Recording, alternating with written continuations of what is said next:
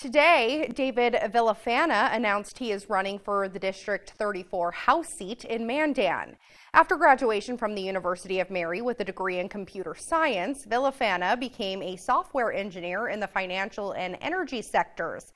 He says his background is in engineering and it helps him understand AI, which allows him to navigate challenges and opportunities here in the state.